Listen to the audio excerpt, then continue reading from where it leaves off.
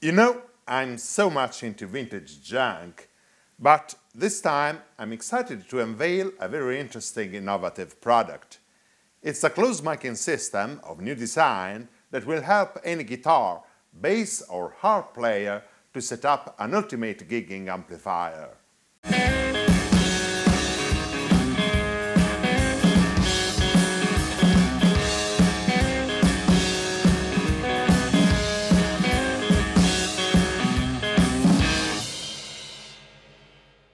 You may think that miking up the amp is the responsibility of the sound crew, but unfortunately things don't always go this way. Let's face it, gigging musicians cannot always count on proper setup and soundcheck time, not to mention professional sound crew or skilled soundmen. Sometimes we happen to play in festival with a sloppy stage management or at events with poor coordination we happen to struggle with rushed stage turns, having to develop the ability to quick problem solving. Also, in many clubs, there's not even a dedicated sound man. We have to take charge of every technical aspect concerning our performance, and we have to do it quickly and well. Sometimes we are even asked to handle technical equipment of the venue, equipment we have never seen or tested before often far from being in flawless operating conditions. Sometimes we have to deal with very small stages where fitting with drums and backline requires some Tetris skills. In all these cases, miking our combo amplifier or speakers cabinet can be awkward. Most of the times we don't really solve the problem, we just decide to give up. Doing so, we rely on the spread of sound from our amp speakers, which in many cases is simply not ideal or even sufficient for the venue. Even on super professional stages, the external mic stands or cabinet clamps are in the way and are often incidentally getting bumped or kicked out of place. The clamps sometimes fall apart. The British company Samsystems found an answer to solve these long-standing issues once and for all. The solution is named I-AM Integral Microphone. It is basically a closed miking system easily and conveniently fitting right inside our combo amp or speakers cabinet. There's another important factor to consider. I've seen many sound guys simply putting a stand in front of a cabinet quite randomly and pointing the microphone to the center of the speaker. That is not quite correct. In fact, the placement of the microphone with regard to the speaker significantly affects the sound. In particular, we have three main parameters to adjust – centering, distance and angle. Moving the microphone from the center of the speaker to the edge will determine the amount of high frequencies. The sound might result harsh if the microphone points directly to the center of the cone, while gets mellower as we move it toward the edge. A closer distance to the speaker will result in prominent bottom-end frequencies, while moving farther away will produce a tone with more ambience diffusion. Also, when the microphone is straight on axis, we'll get a more detailed sound where we can get a more natural and airy tone when the microphone is placed off-axis, angled away to a certain degree. Basically, with a microphone stand, we needed to do some tweaking to find the sweet spot in front of the speaker to shape our tone. If we mic up our amplifier adopting the old-school punkish technique with a cable loop around the amp handle and the microphone dangling in front of the speaker, there's a slim chance of finding any sweet spot, but even dedicated cabinet mic clamps or holders often allow limited handling. The Integrals microphone is already set on an average speaker's sweet spot, so all we have to do is simply plugging the XLR cable from our amplifier to the mixing desk.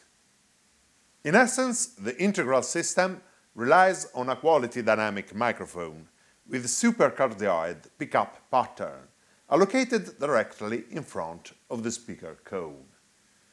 The microphone capsule is positioned slightly off-center and off-axis on the spokes of a round, thin and light plastic frame. It's an easy plug-and-play solution operated without need of phantom power or batteries. The frame has a perforation matching standard speakers mounting holes, allowing a quick installation between the speaker and the baffle. When the speaker's cable has fastened connectors, you don't even need a soldering iron. Installing the I.AM in my 70s Fender Deluxe Reverb only required less than 30 minutes. All I had to do was removing the speaker's retaining nuts. Then I lifted out the speaker and dropped the integral over the bolts with the microphone facing the speaker.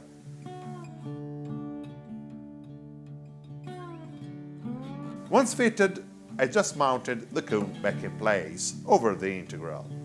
The integral assembly is firmly held in place by the speaker, with the same bolts.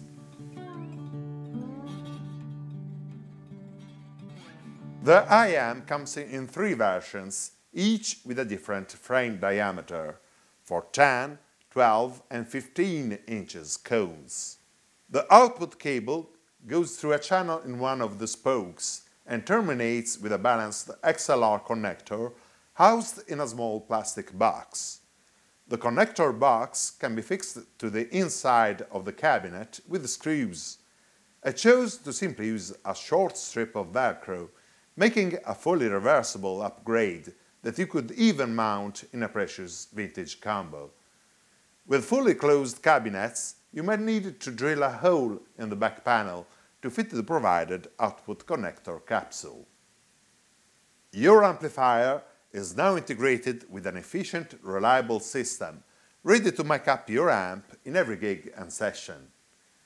Now, how good is the sound captured with the Integrals microphone? Let's put that to the test.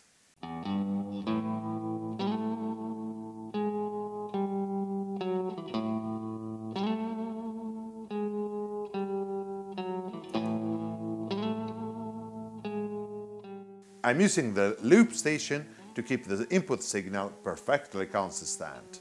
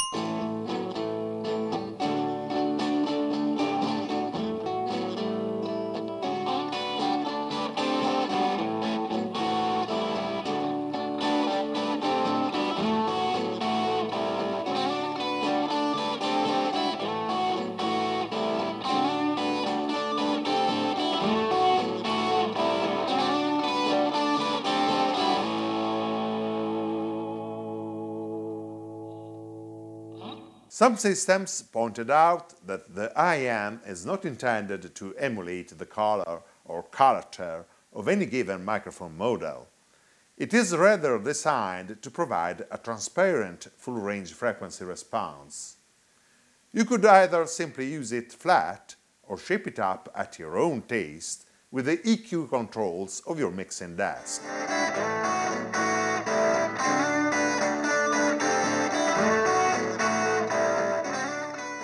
The sound with flat equalization is pretty satisfying. Nevertheless, in my opinion, the Integrals microphone could use a little cut in the medium-high spectrum, and a little low-end boost to compensate a slight tendency to emphasize top-end frequencies.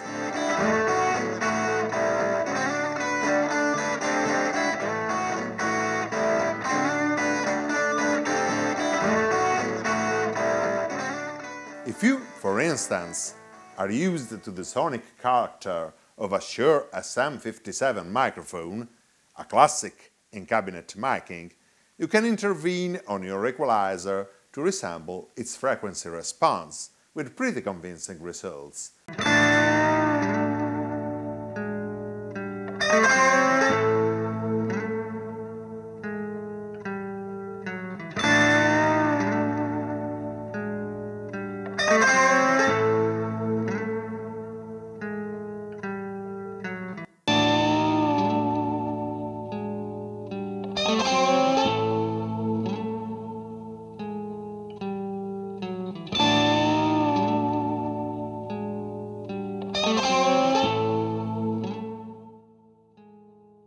Integral possibly sounds a little more articulated and defined.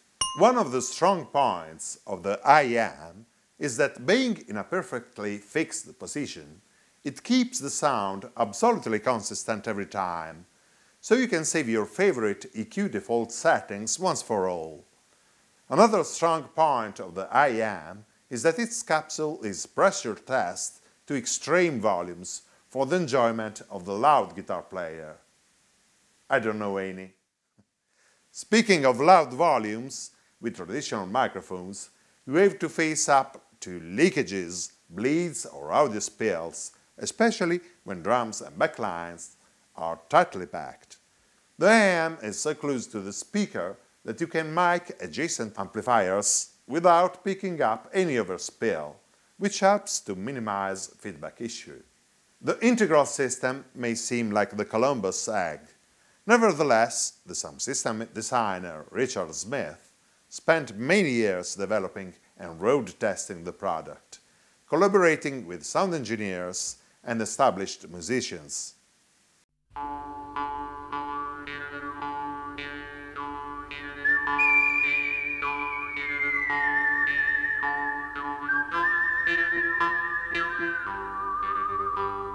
For about the same cost, of a good stage microphone, the IEM offers so many advantages compared to a traditional product, which is great value for the money.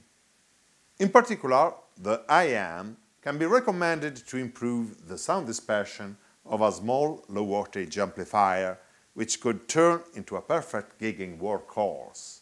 Also, when we have to carry our own amplifier to a new rehearsing room for an audition or a jam session, it's unlikely we'll bring along a microphone and stand, and we might not find there what we need. So it's great to have a lightweight portable go-to amp with the integral fitted. We will save precious time for setting up the gear and sound checking while always being able to keep up with the volumes of any band. I would suggest to my friends boutique amp builders that they could offer the integral as an option to their clients. With the IEM installed, you will typically ask yourself, how could I do without it? The day after I installed it in my Deluxe, it promptly came handy. We played in a very small venue where they propagate the music outside through extension outdoor loudspeakers, so we barely fit in a tiny stage while we still need to mic the amps. Some people outside mentioned that through the external loudspeakers the guitar tone was really good, and someone even thought the music came from a CD. So the Integral definitely finds its ideal application in a live band environment. Finally, the good news is that installing Integral inside your amp of course does not prevent from using the traditional method. If needed, still you can use any other microphone or even combine the integral with an external microphone.